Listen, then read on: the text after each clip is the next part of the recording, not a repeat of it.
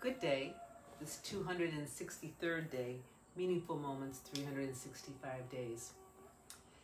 So, a few nights ago, we were celebrating my birthday, and one of the things that I had been really wanting to um, sit down and take some time to unwind and enjoy is a movie called In the Heights. And I fell in love with this production a few years ago, probably about five years ago now, maybe six, uh, in Detroit when I was living there. And there was a guild of actors that did Broadway productions and things like that, and they had come to the area, and it was an outdoor performance of this movie in the Heights.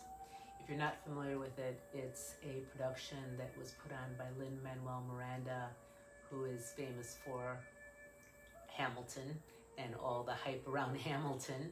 But In the Heights took place way before, it was written way before Hamilton. Anyway, that being said, um, the story takes place in a neighborhood in New York called Washington Heights, hence in the Heights. And it's all about a main character and, of course, this um, whole community of different characters, very colorful characters that make up the story and all the interactions between them. But the one main character has a running theme that he's always looking or aspiring to do something great, uh, live his dream, and it's all based on um, el sueñito, the little dream. And all, all the characters, every one of them have a sueñito, little dream. And they're all searching for how to make their dream come true.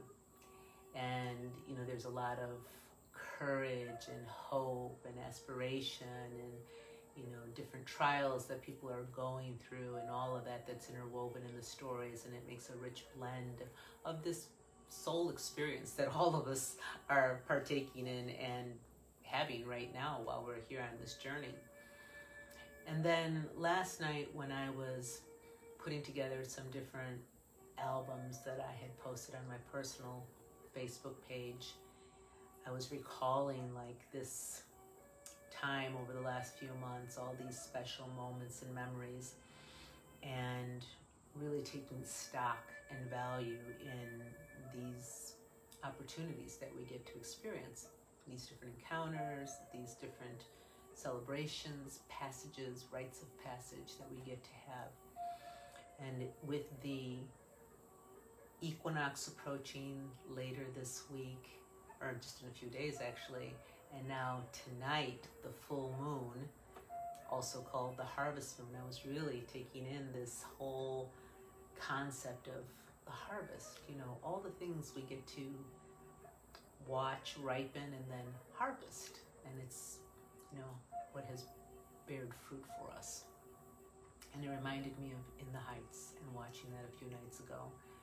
And I thought to myself, you know, here we're always looking like out there for el sueñito, and it's the dream like right now. And the more we find our center and take stock in everything we have right in this moment, and easy it is to take things for granted, the more that we can truly experience inevitably what is found also in that story in the Heights about what that home truly is, what that center is, and how it can't be lost, but it must be found, and it's like right in here, and everything around it. All the constellations moving around this central sun or star. And um, that's how it made me feel as I was going through those albums and coming to the same conclusions that the main character in In the Heights found as well. And it's a story, it's inspirational, all those things, but nothing is like when you yourself are inspired from within. You yourself feel that you are home right here inside. And from there, Sure, you can go to all kinds of places and build outside homes and all those kinds of things and create new spaces and wonderful adventures and all of that. That's the journey that's part of this whole magic that we get to experience. But to know that center place here and to soar, I would say, above the heights, not even in the heights, but above in the heights. And um, bringing that to you today as I was feeling that elevation and wishing that for you and your experiences. Turns out that there's a eagle soaring on my screen right now too. Wishing in the heights for you. Aho, my friends.